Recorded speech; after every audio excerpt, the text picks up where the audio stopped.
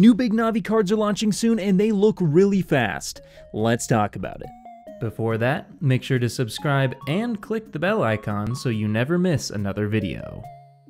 So a new leak regarding the upcoming RX 6700 XT graphics card from AMD was just posted over on Twitter by leaker Patrick Schur, and by the way, there will be links to all my sources in the description below, and let's try and go for 2,000 likes again on this video, but in any case, over on Twitter he posted the power draw of these cards, and it does look pretty impressive, but I think between this and all the other information that we've gotten from places like VideoCardz, we can put together not only the specs, but also the performance and release date for both the 6700 XT and the 6700, so let's get right into the specs first. So starting off with the 6700 XT, in terms of the compute units, this will come with 40 compute units according to VideoCardz. And while I couldn't find any leaked information on either the game clock or the boost clock, I'm thinking it's probably going to be pretty similar to the 6800 XT. So we're probably looking at a game clock of 2105 megahertz and a boost clock of 2250 megahertz. Now as for the memory, it's likely going to have 12 gigabytes of GDDR6 on a 192-bit bus for a total bandwidth of 384 gigabytes per second. And according to Patrick Schur, the TG Will be somewhere between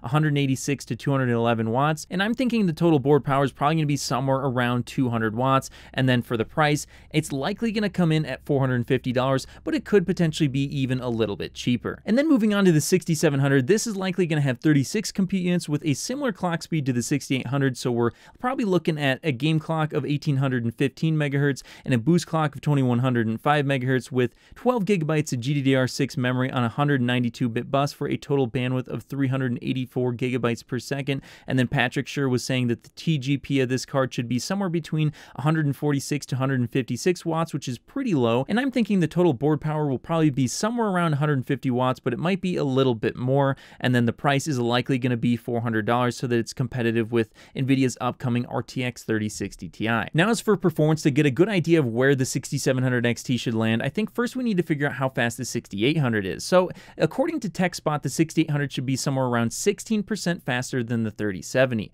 Now, the 6800 also supposedly has 50% more compute units than the 6700 XT that's coming out, and then 33% more bandwidth. So, looking at those specs, I would expect the 6800 to be roughly somewhere around 30% faster than the 6700 XT and somewhere around 40% faster than the 6700. So, those are going to be some pretty fast graphics cards, but that does mean that the 6700 XT and 6700 will likely be a little little bit slower than the RTX 3070, though they will pack a significant amount more VRAM. Now, that puts them in a pretty close competition with the upcoming RTX 3060 Ti, which is likely going to be somewhere around $400, potentially even a little bit more. And that's going to be pretty close to 3070 performance as well. So it looks like the 6700 XT, if it does end up coming in at $450 and it's not any cheaper, could end up being, you know, not the best buy compared to the 3060 Ti, unless it gets a price drop or it ends up being a little bit faster faster than I'm expecting. Now, the 6700 I think is a very competitive card at $400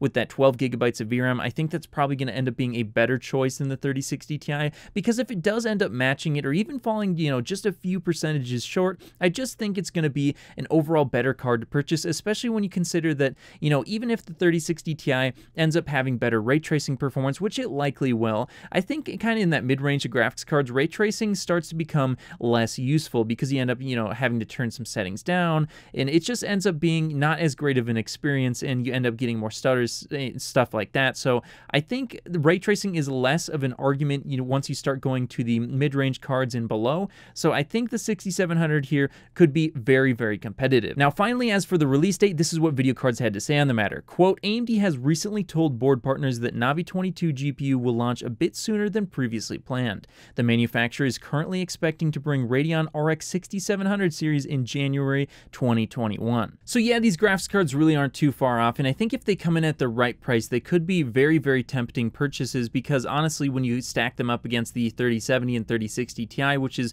supposedly going to be coming out here soon as well, well, you know, that extra 4 gigabytes of VRAM could make a big difference for a lot of buyers. So again, if they come in, you know, say maybe $430 for the 6700 XT and then $380 for the 6700 or even up to $400, I think in my opinion, those would probably probably be better purchases because you're going to end up getting that extra VRAM, which is going to be a huge help going forward. And so, you know, if you're looking at the 3060 Ti and 3070 with that 8 gigabytes of VRAM, you're starting to see games already that are getting very, very close to saturating the entire thing, and in some cases, already asking for more than 8 gigabytes of VRAM. And that's only going to get worse as time goes on, as both the consoles do have 16 gigabytes of VRAM now. About 4 gigabytes of that should be not accessible and should be for the OS, but that does leave developers with around 12 gigabytes of VRAM to play with, with both the Xbox Series X and PlayStation 5. And, you know, with the consoles coming out here, that's going to end up making a lot more games use more VRAM. I mean, if developers are coding for 12 gigabytes,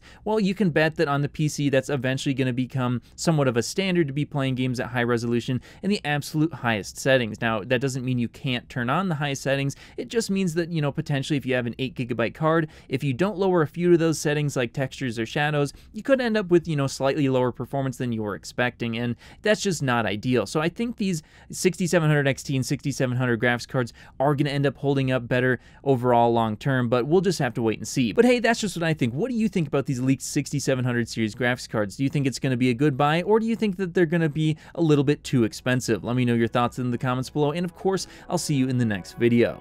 If you made it to the end of the video, be sure to drop a like.